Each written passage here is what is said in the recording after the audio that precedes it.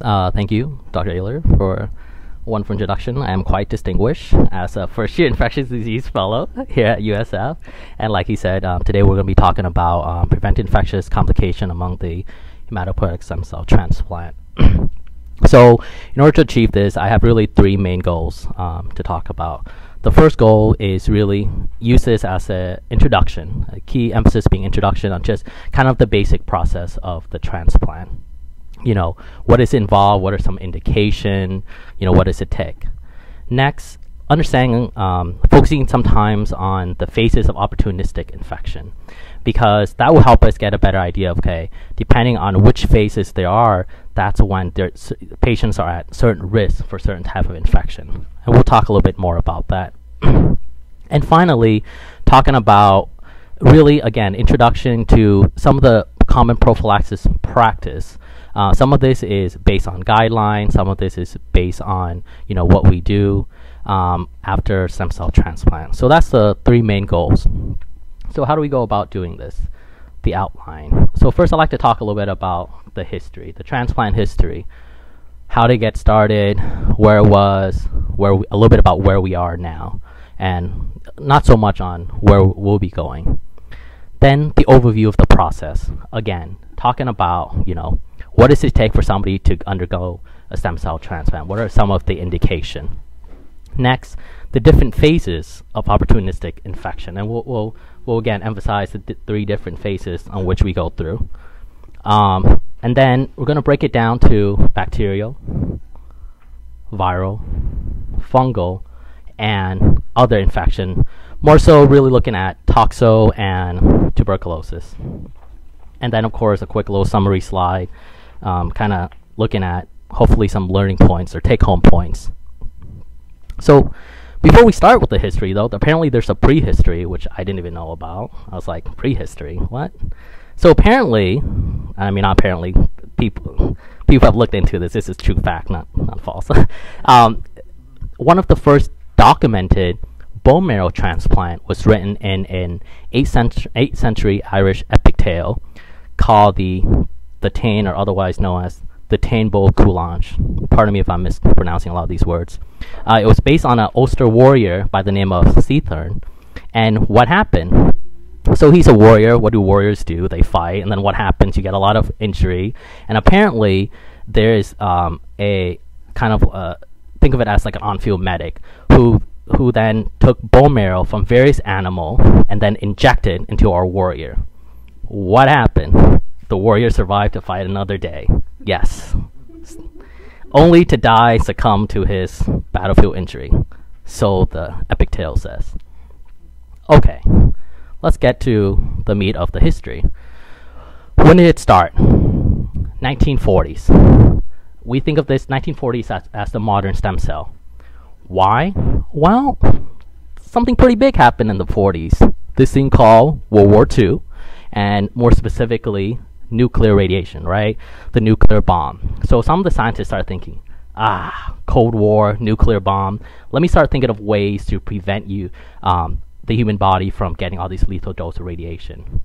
So what they did, some research they did is they uh, shielded mice spleens and femur from lethal radiation.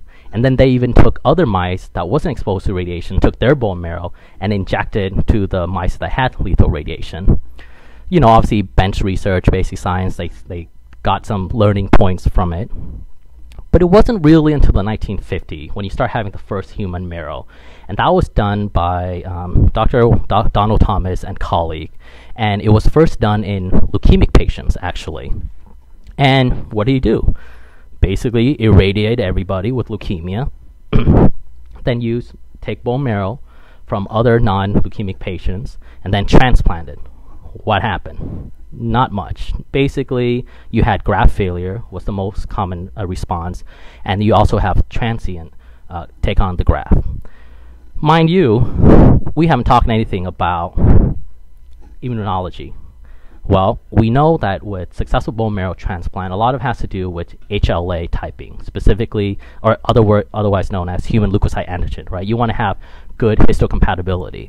Well, we didn't understand about histocompatibility until the 1960s, where we understand about the antigen. We now more exposed to the idea of graft versus host disease, which I'll talk a little bit about what that is. Understanding about post-transplant immunosuppression, Im- immunosuppression, and then you know so that you you don't have graft versus host disease. 1970s. So what has happened? Some scientists, you know, radiated some mouse, injected some bone marrow. Then there was some human, and now you understand about histocompatibility. So kind of the next logical step is okay, let's create a bone marrow repository, right? And that's what the IBMTR, otherwise known as the International Bone Marrow Transplant Repository, founded in 1972. One of the first one where you can start pooling all these bone marrow. And not to be a side note, but this is also during the 70s was also when this chemical compound called DMSO, which some of you may be familiar with, is a cryopreservant. That was also discovered in the 70s. So now you have a repository and you have a mean to kind of preserve them better. You understand the histocompatibility. What's next? Well, now you start getting more and more indication for a transplant. You start understanding getting more drugs, understanding uh, more donor, creating more donor pool, not only from in England um, with uh, the European registry, uh, the no- and then there's the North American marrow donor pool. So now you're getting more and more. 1990s, new regimen. Now, we've been talking about well bone marrow, so bone marrow from the femur, from your hip, but now you can also think about peripheral blood stem cell as another potential source. So the 1990s, you start thinking using that. Then you start, if you're going to use peripheral blood stem cells, then you're going to need something, some drug to help stimulate that. That's where granulocyte colony stimulating factor, aka Neupogen, the term that we normally hear think of, that came into being as well. Well, 2000 and really should be 2000 and beyond, right? So the outcomes are getting better now, right? Patients are getting um, the age for transplant are moving. So now you can do it in older patients because now you have better immunosuppressive regimen, and now we start now in the 2010s you start using more and more umbilical cord, which is a different type rather than just blood stem cell, uh, peripheral blood or bone marrow. You start thinking about umbilical cord, which gives you even more indication, and then um, you start so, uh, and also the idea of cell therapy. So what does it all mean, right? Well, essentially, uh, Nifio and all in 2008, he presented this data, and what he saw, what he said is that American by the time they're 70, 1 in 217 American would have had undergone stem cell transplant. So it doesn't seem like a lot, but if you think about it, that's actually th- th- that number is going to get larger and larger. So whether you're a primary care provider or infectious disease specialist, we're going to be exposed to these patients.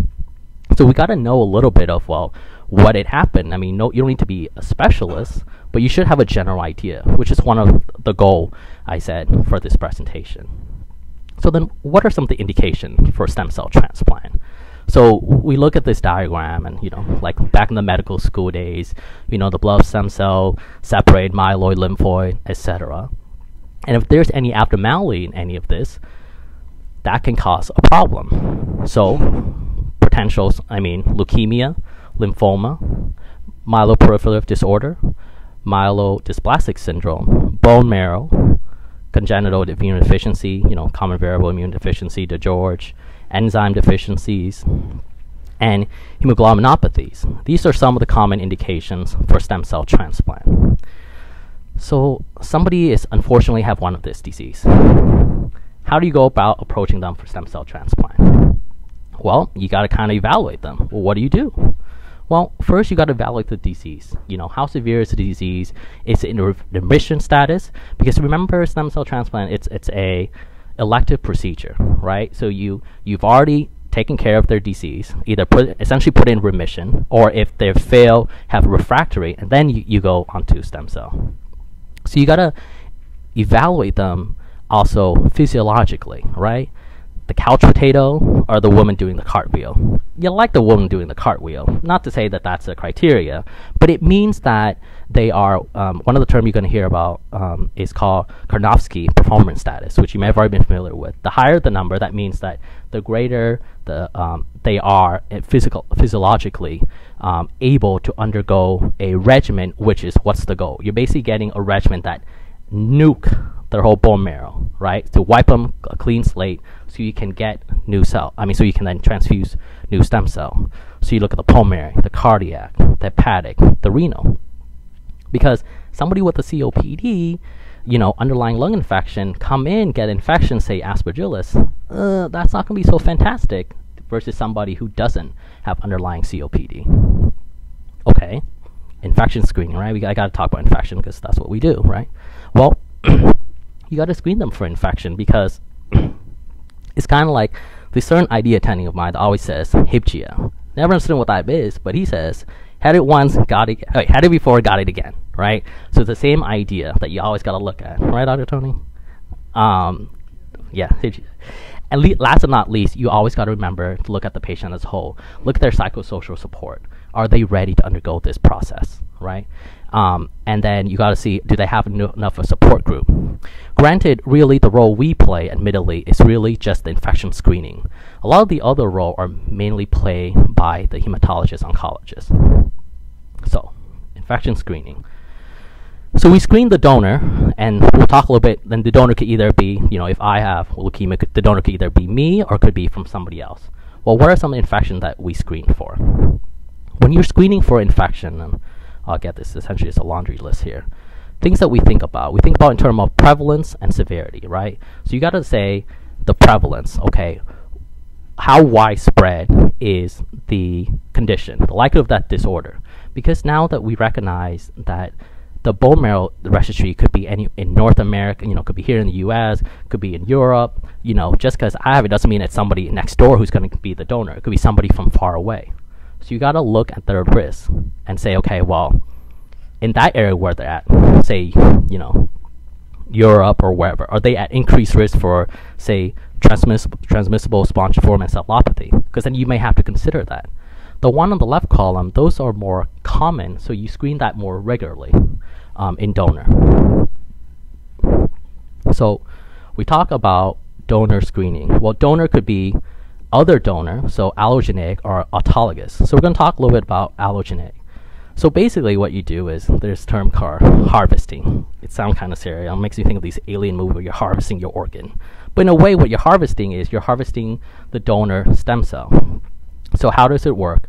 There's several ways. If you're doing bone marrow, then the donor would undergo either regional or general anesthesia, you know, and then from the bone marrow, there's a needle in, not so fantastic. They suck out the stem cell, it gets processed, algae. If it's peripheral blood, they usually get you know some kind of um, granulocyte colony stimulating factor, stimulate the cells. The donor that undergoes you know a apheresis to suck out the cell, then gets processed, put in DMSO for a cryopreservant, and then when the patient's ready, you infuse it. okay, allogeneic, autologous, essentially the same idea right? Except now you're using your own donor cell, and usually it's more so from the peripheral blood stem cell. And it's usually used in recurrent non-Hodgkin lymphoma or Hodgkin lymphoma or multiple myeloma. And it's really predicated on this idea of if a little bit of chemo is good, it can really cure it, then a lot is going to be better. But if a lot is better, that means you're going to wipe out the bone marrow completely. Well, no, that's how I think, right? So if it wipes out the bone marrow complete, then you have to somehow rescue the, the bone marrow somehow, right? Because you can't just like, well, I cure your leukemia, but now you have, or, you know, him lymphoma, but now you have no white cells to protect you from infection. Well, so then that's when you infuse their own white cells. And we'll talk about what are some of the potential complications of that. So here we are. You're this generic guy or gal and you unfortunately have lymphoma, leukemia, whatever. Um, and then you present to the hospital. What happens? you look great. You're excited. Then you undergo conditioning regimen, right? What's the, what's the purpose of conditioning regimen? To wipe out your whole bone marrow, right? To nuke it to where you have no more stem cells at all, because then you're gonna give the stem cell in. Then you change your clothes and get hooked up to an IV and now you're getting infusion. Then you recover, and you hope that you walk out the same way you came in. That's the goal, anyway. But it's never that simple. What are some potential complications? the early adverse effect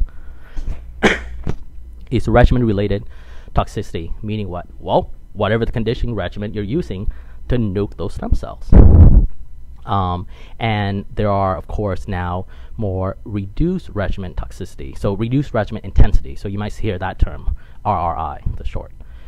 Infection. 8% of infection uh, in autologous um, stem cell, about 8% of the time you suffer from infectious complication. In allogeneic, anywhere between 17 to 20%. And we'll talk a little bit as to why is it a little bit higher for allogeneic, but you probably already have an idea as to why. You're always going to suffer from graft versus host disease, and we'll talk exactly what that means, and a graft failure. What are some of the long-term adverse effects? Essentially same. You have acute, you're going to have chronic. You're still going to have infection, and now you might now have some endocrine disturbances, usually thyroid issue. You can always have disease relapse, right? Because, for example, in multiple myeloma or autologous, you're injecting your own cells. So there's always that chance that those your own cell can then all of a sudden redevelop the cancer again. And secondary malignancy, and that's usually related to the regimen, the conditioning regimen. So here we go. This is like the customary slide that anybody who's ever going to talk about, whether it be solid organ, well, solid, well, really more so bone marrow, less so solid organ. But okay, so bone marrow I take back. So this is the one that you really we got to really focus on. So we're going to spend a little bit of time. So this is a model um, that was developed looking at the different phases, essentially broken down the three phases. Phase one, the pre-engraftment. Phase two, post. Phase three, the late phase. And here it's breaking down to bacterial, viral, fungal, and based on the day. Day zero is your infusion day, infusion of the stem cell. So when you first start in phase one, the pre-engraftment, so before the stem cell actually engraft onto the body, you're now you're just got done with this heavily toxic chemo regimen, right? The conditioning regimen. So what are you at risk for? You're, you know, you can get neutropenic because again, neutropenic uh, by definition, you know, severe neutropenia, absolute neutrophil cell count less than 500, and you're getting that because the condition regimen is to wipe out your whole stem cells, then you're going to be at risk for infection. Usually, gram negative, gram positive, gastrointestinal streptococci, gram negative, you, you know, E. coli, Pseudomonas, Klebsiella. You hope it's none of the, you know, CRE, or you hope it's not a Stenotrophomonas that's innately resistant to a lot of organisms. The gram-positive pathogens, usually um, more so strep viridans, um, usually, and remember strep viridans is just a class. It's not a species or anything. It's really strep intermedius, strep oralis, etc. And then GI translocation. So that's from the bacterial in the phase one. And that's relating to because the regimen itself causes you to have severe mucositis. You can have GI translocation. Um, you can have mucosal barrier breakdown which is why if somebody who has a central catheter um, catheter device, that can get infected, you know, from the skin and soft tissue directly into the bloodstream. Virus-wise, herpes. Um, you can also have respiratory uh, community viruses. So that depends on the season, and that goes back to kind of the infection screening, your history, um, kind of say, okay, well, what season are you in? You know, you're not going to have enteric viruses if you're between the month of, you know, December to February. That's you can think more influenza. You're not going to think enteric till say the summer months. And then fungal, uh, at least in the first phase, you're going to think about Aspergillus in Candida. The second phase, right? So really, I, I kind of combine the second phase and third phase kind of the same because here at this point you're on heavily immunosuppressive. You're already engrafted. You're not worried about the white cell, lack of white cells anymore. But you're on heavily immunosuppression to allow for the graft to continue to function, right? So that's what does that do? That's going to impair your cell mediated. That's going to, you know, impair your T cells, CD4 count, CD8 cell. That's going to affect your humoral immunity, specifically your antibodies, right? Your immunoglobulins. So that's why now you start in the viral, you, you may have start reactivation of certain viruses, right? CMV, EBV. Um, you may even start having issue with pneumocystis, kind of the same thing with HIV and low CD4 count. Late phases, we can say about day 100 and beyond. Why encapsulated bacteria? Well, again, it has to do with the fact that your immunity actually doesn't really come back quickly because it's the memory cells that don't come back. So you may be producing immunoglobulin, but they're defective immunoglobulin. And so that's why you're at risk for encapsulated bacteria. And for the same, you know, for different reason with the T cell, you're at risk for VZV and also aspergillus and pneumocystis. So, what are some of the factors affecting the risk of infection? Well, we, we hint at it, you know, the, the type of transplant, right? We talked that in allogeneic, you're going to be at higher risk than autologous. Why? Because you're going to be during period of greater immunosuppression on immunosuppressive regimen. The time from transplant, kind of what we talked about in terms of the phase of opportunistic infection. Pre-transplant factor, well, somebody who've had, you know, previous infection, you know, whether it be CRE, uh, C. diff, they can get it again. HLA match. So spend a little time talking a little bit about this. So this is really more so applicable in allogeneic type of transplant because what you're getting now is you're getting somebody else whose um, stem cells who are not yours. So you got to think about okay, what are the histocompatibility? So you're going to hear terms such as match related, mismatch, haploidentical. What does it all mean? It, all it really means is the degree of the histocompatibility uh, sameness, similarity. So match related, um, usually it's somebody who is your relative brother and sister who's very similar. So th- the greater the HLA match, the less likely are you have having risk of infection because you are at less likely risk of getting GVHD because you don't need to be on immunosuppressive and the disease status. So GVHD, let's talk about GVHD because I keep on mentioning that term. So this is kind of, uh, it is, not kind of, it is a diagram of how the, the pathophys of GVHD. And you can think of it in essentially into three steps. First, you think you have conditioning regimen we talked about, right? So it affects only the stem cell, but it affects the mucosal area as well too. So what it what does it do? It activates the antigen presenting cells. And once the antigen presenting cells are activated, then that activates the, it's a cascade. It's going to activate the mature donor T lymphocytes, which then activates further more cytokines such as tumor necrosis factor, IL-1, tumor necrosis factor alpha, IL-1, IL-6, which then mediate even further tissue-specific damage. For example, we know that in GI mucosal GVHD, it's mediated by tumor necrosis factor alpha. So think of I think of there's two things to think about GVHD. You got to think of that GVHD is a essentially a normal, albeit a very exaggerated process of inflammation as the donor's um, leukocytes being infused. And then that you also got to keep in mind that the recipient mucosal has already been the underlying the, the, the has already been damaged by the condition regimen. So they're already starting in a way as a, at a disadvantage. What other factors? The graft type, so again, allogeneic, autologous, mismatch, haploidentical, umbilical cord, um, so so that's gonna cause issues. So um, in somebody with umbilical cord, their recovery is gonna be takes about four weeks versus somebody who's getting a bone marrow recovery. I mean, in terms of the neutrophil and engraftment versus somebody who's using um, peripheral blood stem cell. And so this this chart here, kind of this diagram, give us a hint uh, on the vertical axis. Looks at uh, immune cell count, and then the x-axis horizontal is looking at the duration. And you can see that it takes one of the first one that comes back right away is your neutrophils and your monocytes. And then your the green line which is your b cell and cd8 that takes months to come back. And then it takes years post transplant before everything is kind of normal again. And so that plays into that idea of the different phases of uh, uh, opportunistic infection. And that's based on how your immune function recover. Okay, so let's kind of get into a little nitty gritty. So we we we kind of set up indication. We kind of set up the phases. Let's talk a little about now specific bacteria, viruses, fungal, and other. So bacteria. So this is strep viridans, or one of the group could be strep intermedius, vir- uh, oralis, mitis, and these are the ones that we worry about because usually it's in the mucosa. And so we usually start antibacterial prophylaxis with fluoroquinolone, Cipro or levofloxacin. uh, which one do you choose? Doesn't matter. Well, if somebody has a history of really bad mucositis in the past or history of streptomyces, um, infection, bacteremia, you might want to err a little bit on levofloxacin because it has better strep coverage than Cipro. You start at the stem cell infusion and then you stop once the neutropenia recover.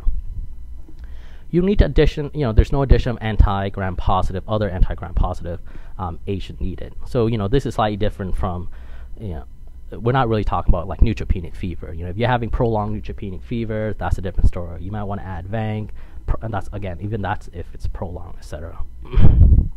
so, thinking back to that one slide with the phase of opportunistic infection, and you remember seeing something called gastrointestinal streptococci. So you're like, okay, so I know that that's a potential bug. Why don't I just go ahead and decolonize it?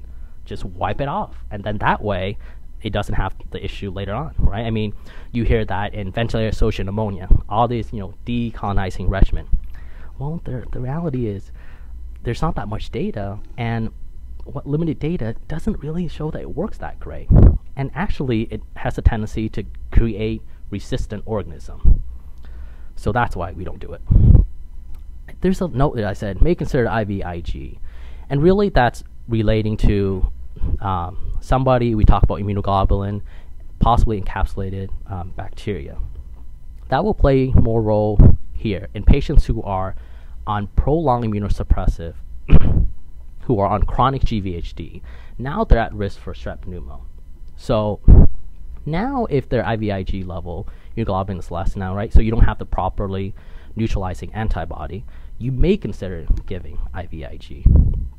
Um, in terms of impregnated central line, central line, not live, um, to prevent central line associated bacteremia, stream, uh, bloodstream infection. Well, a consideration, I mean, in dialysis patient, we know there essentially what it is is antibiotic antibiotic lock therapy. We see it in dialysis patient. You know, there's some data there for you know stem cell transplant using combination of minocycline, a very diluted minocycline, rifampin, rifampin, as you know, has a, um, uh, biofilm activities, which usually happens uh, when some of these organisms are there. So moving on, viral, CMV, right? Owl's eyes, yes. Um, it's a big one. I mean, this in itself is really a full-blown lecture or two, and here I am trying to summarize it in essentially one slide. So, well, how I look at it is being simple minded, I say, look, if somebody's CMV negative, I don't want to give them CMV. So give, if I'm going to give blood product, give them CMV negative blood product, or at least leukocyte reduced um, blood. If they're CMV negative, I'm going to prophylax them with what? Ganciclovir, although we often use high dose acyclovir, valacyclovir, oral purpose. And we prophylax them for at least um, 100 days from time of uh, initial engraftment and we what do we do? We can uh, usually recommend we do screening, either PCR or you know using PP65 antigen antigen. Now the question becomes, ah, you do all this screening, and it's positive, and it's like 100, 200. What do you do? I don't know. I mean, it all depends on the uh, the threshold each institution sets up, and then ultimately you got to look at the patient. I mean, if you're thinking that this is not shedding but actually causing clinical disease, then yes, you may treat. If you do decide to treat, you commit the patient to two weeks minimum, and then you follow the viral load. And as long as it's trending down, eventually undetectable, then you stop. Some says if you treat them, just keep them until at least day 100. So that's CMV. Now it's EBV. The big thing with EBV is post-transplant lymphoproliferative disorder, right? Who gets it? Patient with T cell depletion. So usually patients who are uh, given um, T cell antibodies, so anti-thymocyglobulin, right? And who gets those? Umbilical cord and haploidentical. Why do they get that? Because they're at higher risk for, again, GVHD. GVHD is kind of like one of the theme here.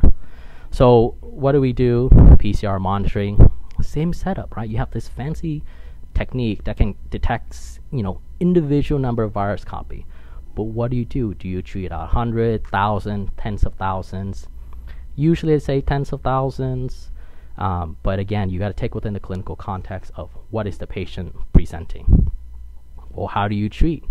Well, it's usually a virus that gets reactivated because you're on so much immunosuppression. So the way to go about it is reduce immunosuppression if possible. Sometimes it's not possible. Then sometimes you might have to use rituximab. Well, who knows? So HSV.